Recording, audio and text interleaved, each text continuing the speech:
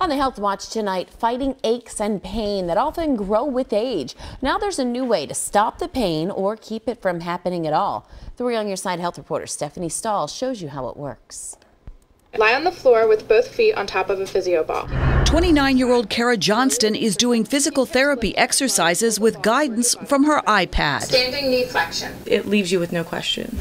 And it has her back to running and climbing stairs without pain. I couldn't walk for five minutes without pain in my back, pain in my knee. Kara was a high school athlete on the basketball and soccer teams. This is where my injury started. Kara was left with a herniated disc and all sorts of knee issues that bothered her for years until she got an app called Motion Doctor. It changed my life, it really did. If I start to hurt, I just go to the motion doctor, find a couple exercises that I know will strengthen what I need to do. You can go through by body part, activity, sport, and profession. The Motion Doctor app was developed by Desirea Caucci, a physical therapist at Conshohocken Physical Therapy. This is just a quick, easy way that anyone can have at their fingertips a resource to do just that prevent pain on their own. The Motion Doctor app features over 60 video demonstrations of exercises and stretches. You can actually watch the person do it and make sure that your body is mimicking or mirroring exactly the right form. Let's do lower back. Okay, so you can just touch the low back. Each video clip gives detailed instructions and demonstrates various moves that strengthen muscles and stretch specific body parts. We felt there was a need to inform the public that there's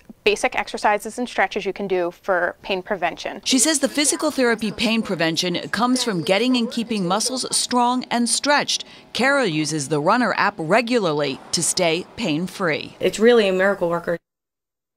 Now, Motion Doctor is designed to help people keep their bodies in shape to control or prevent pain. It is not meant to replace seeing a physical therapist. Anybody with an iPad can download Motion Doctor from the App Store for $14.99, and we are told it has become a popular big seller. We have a lot more information on this at cbsphilly.com. Click on health. Mm. All you need is a smartphone these that's days. That's right. It's, it's, the little aches and pains, too, that add uh -huh. up. Yeah, that's what yeah. gets you. All right. Thanks, Steph. Thanks, uh -huh. Steph.